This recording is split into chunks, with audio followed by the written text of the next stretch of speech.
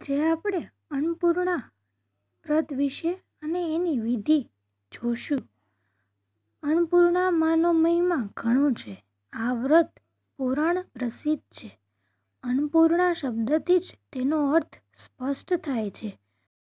આ વ્રત બધા કરી શકે છે.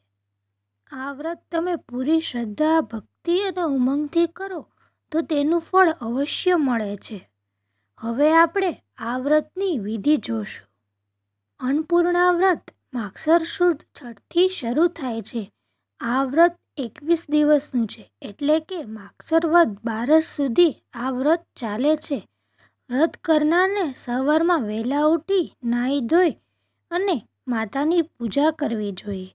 પૂજા સ્થાને એક બાજુના ખૂણામાં એક પાટ કે બાજોટ મૂકી તેના ઉપર એક સ્વચ્છ લાલ વસ્ત્ર પાથરીને અન્નપૂર્ણા માતાજીની છબી મૂકવી. તે પાટલાની મધ્યમાં ઘઉંની ઢગલી કરવી. તેની ઉપર ત્રાંબા કે પિત્તળ કે સ્ટીલનો કળશ મૂકવો અને એના ઉપર પાંચ પાન ગોઠવીને શ્રીફળ મૂકવું. વ્રત કરનારને ચોખ્ખા કપડાં પહેરી સ્વચ્છ આસન ઉપર બેસીને એકવીસ સૂતરના તાતણાની આટી કરવી અને જય અન્નપૂર્ણામાં બોલતા જઈ એકવીસ ગાંઠો મારવી. આ આટી માતાજીની છબી આગળ મૂકવી, પછી માતાજીની છબી આગળ ફૂલ મૂકવા. બાદ દીપક પ્રગટાવીને માતાજીની છબીને કપાળમાં કંકુનું તિલક કરવું તેના ઉપર ચોખા ચોંટાડી અબીર ગુલાલનો છંટકાવ કરવો. આટી ઉપર પણ અબીલ ગુલાલનો છંટકાવ કરવો અને અગરબત્તી કે ધૂપ કરવો? પૂજા દરમિયાન એકવીસ ગાંઠોવાળી આટી વ્રત કરનારને ગળામાં ધારણ કરવી.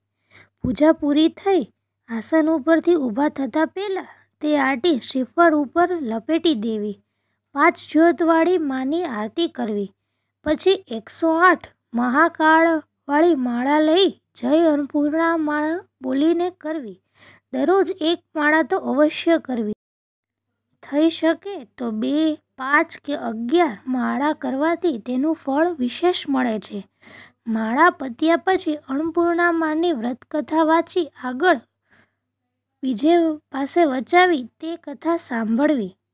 પછી અન્નપૂર્ણા માને જલની અંજલિ આપી તેને જળને જમણા હાથમાં હથેળીમાં લઈને આચમન કરવું છેલ્લે અન્નપૂર્ણા માની છબીને નમન કરી ઊભા થવું. વધુ અને ઉત્તમ ફળ મેળવવા માટે માની સ્તુતિ, પ્રાર્થના અને કવચ વગેરે બોલવા. આ રીતે દરરોજ એકવીસ દિવસ સુધી માની, પૂજા કરી અને છેલ્લા દિવસે ઉજવણું કરવું. ઉજવણામાં પાંચ બ્રાહ્મણોને કે પાંચ કન્યાઓને જમાડી બ્રાહ્મણને યોગ્ય હોય એ દક્ષિણા આપી. કન્યાઓ હોય તો તેમને દરેકને એક એક અન્નપૂર્ણા વ્રતની પુસ્તિકા આપવી. આથી અન્નપૂર્ણા વ્રતની માહિતી બીજા લોકોને પણ જાણવા મળે અને માતાજીનો મહિમા ફેલાય. બીજા વ્રતની જેમ આ વ્રત દર વર્ષે કરી શકાય છે. આ વ્રત એકટાણું કરીને કે ફલહાર લઈને કરી શકાય છે.